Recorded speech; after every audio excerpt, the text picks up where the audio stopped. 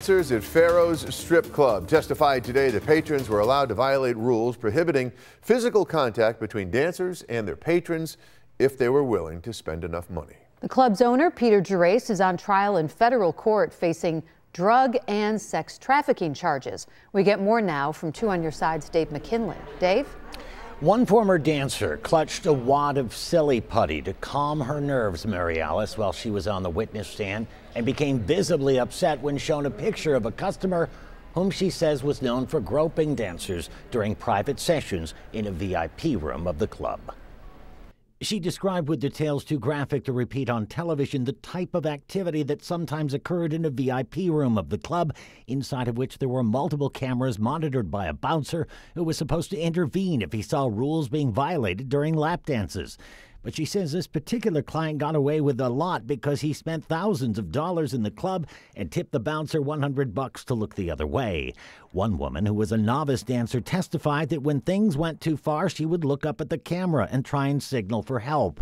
Did anyone ever try and save you? asked prosecutor Nicholas Cooper. No, she said. Did you think anyone would ever come to your rescue once this happened? No. But upon cross examination by Gerace's lawyer Mark Foti, the dancers admitted they were under no obligation to enter the room with the customer and were free to end the dance at any time. However, both cited their powerful addiction to drugs as the reason they didn't. It's like air, you need it, is how one of them described their drug dependency, and you feel like you need more and you can't live without it. If you didn't go into the VIP room with these men, would you be able to feed your addiction? asked Cooper. No, she said. Do you believe it was then your choice? I didn't want to lose him as a paying customer, she said. I needed the money for drugs.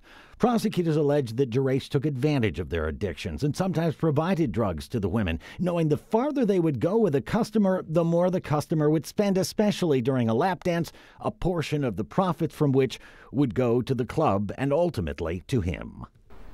It was also revealed in court, though, that the same dancer who became so upset in seeing that one client's picture later engaged with him outside the club on paid dates and in acts of prostitution with at least a half dozen other club patrons she met while working at Pharaoh's, and that she did this even after she left the club's employ.